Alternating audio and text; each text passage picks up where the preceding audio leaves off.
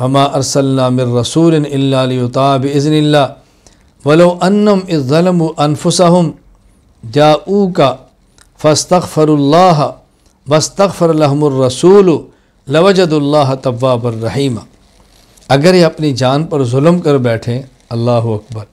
یعنی حضور پاک کی اطاعت نہیں کی، تو پیغمبر کا نقصان نہیں ہوا، اپنی جان پر ظلم کر بیٹھے. علم انم اس ظلم انفسا پیغمبر پاک کی اطاعت نہیں کی تو اپنے اوپر ظلم کی ہے۔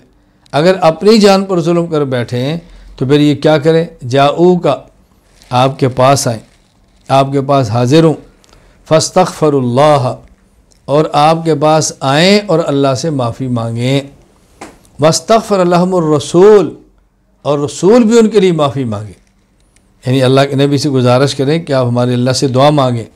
لوجد اللہ طواب الرحیمہ تو یہ دیکھیں گے اللہ کیسے ان کی توبہ قبول کرتے ہیں اور اللہ کیسے رحم فرماتے ہیں۔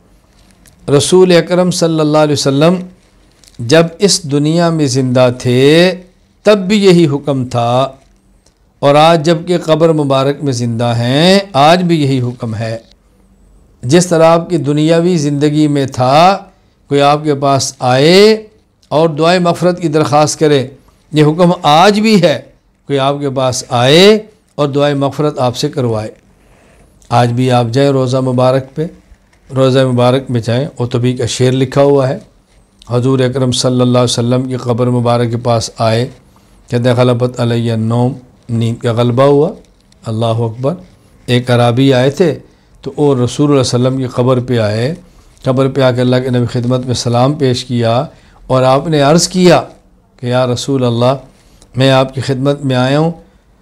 چیتو کا مستغفر ام بزمبی مستشف بک، اپنے گناہوں کی معافی مانگتا ہوں اور آپ سے گزارش کرتا ہوں کہ آپ اللہ سے میری دعا کریں۔ درخواست کرتا ہوں کہ اللہ سے آپ میرے لیے دعا فرمائیں۔ یہ کہا۔ اور پھر حضور اکرم صلی اللہ علیہ وسلم کی قبر مبارک کے پاس کھڑے ہو کر یہ شعر پڑھے۔ یا خیر من دفنت بالکائے اعظم ہو فتح بمنتی بہن القا اول اکم نفس الفدا القبر انت ساکن ہو فی الافاہ الجود والکرم۔ یہ رسول اکرم صلی اللہ علیہ وسلم قبر مبارک پہ کھڑے ہو کے اشعار پڑھے اور آج بھی روزہ مبارک پر یہ اشعار درج ہیں۔ حضور کی مواجہ شریف کے سامنے جائیں، آپ کی جو مواجہ شریف چہرہ کریں، قبلے کی طرف آپ اپنی پیٹھ کریں اور کھڑے ہو کر دیکھیں۔ آپ کے دائیں جانے میں ستون آئے گا، وہاں لکھا ہے، یا خیر مندفنت بالکائے اعظم ہو آگے لکھا فتاب منتی بہن نلقا اول اکم ہو پھر دائیں جب لکھا نفس الفدا القبر انت ساکن ہو وفی الافاہ والجود والکرم۔ حضور، آپ کی خبر کی جگہ تمام جگہوں سے برتر ہے۔ دنیا میں روشنی آپ کی قبر کی وجہ سے ہے۔ اللہ اکبر۔ میری جان فدا اس قبر پر جس میں آپ ساکن ہیں، آپ رہتے ہیں یہاں پہ۔ فی الفاف والجود والکرم۔ اللہ اکبر، اس میں عفت بھی ہے، جود بھی ہے، کرم بھی ہے، سب کچھ یہ شعر کی اور چلے گئے۔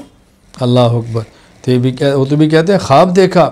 اللہ کے نبی نے فرمایا، الحق بالعرابی ابشر حقد غفر اللہ علق کہ جاؤ اس عرابی کو جا کر بتاؤ، اللہ نے تیری مغفرت کر دی ہے، تیرے گناہوں کو معاف کر دیا ہے۔ تو جو حکم حضور کے دور میں تھا، وہ حکم آج بھی ہے۔ وہ زمانہ بھی حضور کا تھا۔ آج کا زمانہ بھی حضور کا ہے۔ صلی اللہ علیہ وسلم، آپ تو قیامت تک کے لیے نبی ہیں۔ تو ہمارے ذمے ہے، ہم رسول اللہ صلی اللہ علیہ وسلم کی اطاعت کریں۔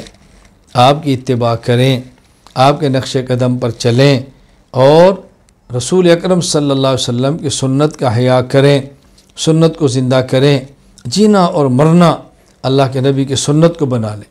کچھ کمی اور کوتاہی ہو جائے تو اللہ تعالیٰ سے معافی مانگیں۔ حضور پاک کی قبر پہ جا کے آپ سے درخواست کریں کہ آپ ہمارے لیے دعائیں مغفرت فرمائیں۔ اللہ تعالیٰ انشاءاللہ مغفرت فرما دیں گے۔